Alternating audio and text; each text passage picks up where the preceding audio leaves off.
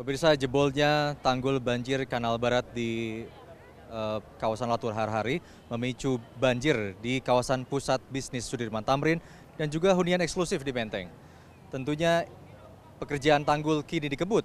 Sejumlah titik masih digenangi banjir walaupun nantinya tanggul ini akan selesai dikerjakan.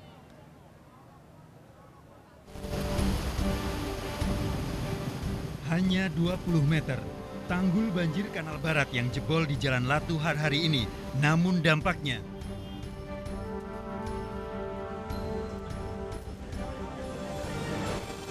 Akibat banjir 17 Januari lalu ratusan miliar rupiah melayang.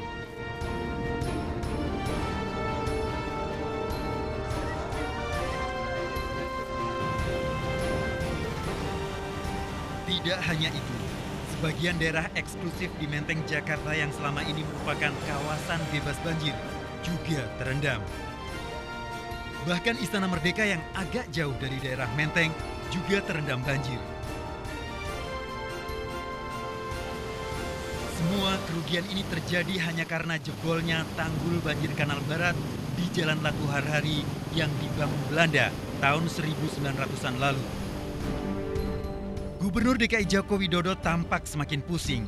Proses pengerjaan bendung darurat akhirnya harus dikebut.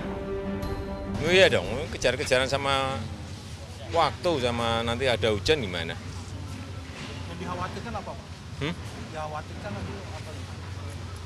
Ya kalau air naik lagi,